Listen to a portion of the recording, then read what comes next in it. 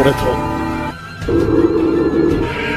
木の葉の力の前にただ従え。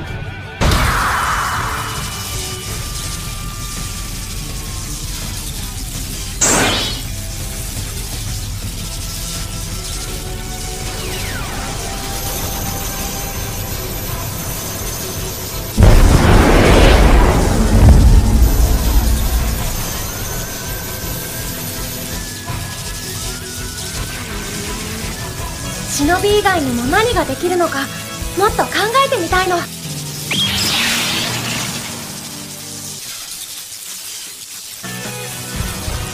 何がいいのかな？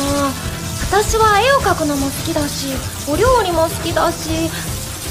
そりゃさすがにもうないんじゃないか？亡命を認めるかどうかの判断はその後だ。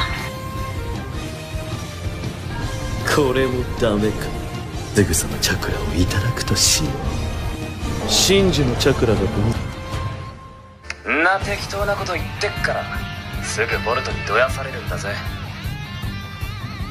実戦で使うのも初めて。あいつの動きを見切れなければ確実にやられる。珍しいね。ボルトが足を踏み外すなんて。いつだって自分の気持ちに正直だったじゃないか。